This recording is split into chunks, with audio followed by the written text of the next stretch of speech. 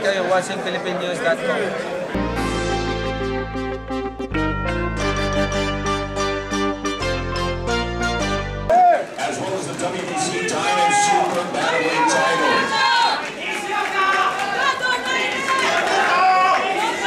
It's going to be a good fight. Um, definitely a, a good fight. Uh, but you know, Nito has been looking good. Um, you know, people comparing this last fight and saying what he uh, things that he didn't knock the guy out. But I mean, come on, man. Styles make fights. Dude was a taller guy, and um, he was uh, up from um, a lower weight class for the most part. So now he's. Uh, He's, you know, he's doing his thing. He's grinding. I've been seeing. I went to his open workout. He's looking good, and I see him coming out with a very uh, good victory.